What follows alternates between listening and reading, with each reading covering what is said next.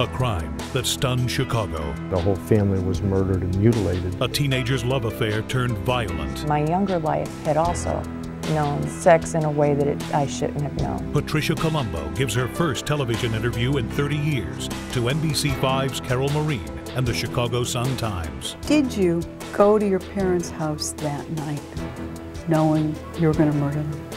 Patricia Columbo, the exclusive interview, Sunday night at 10.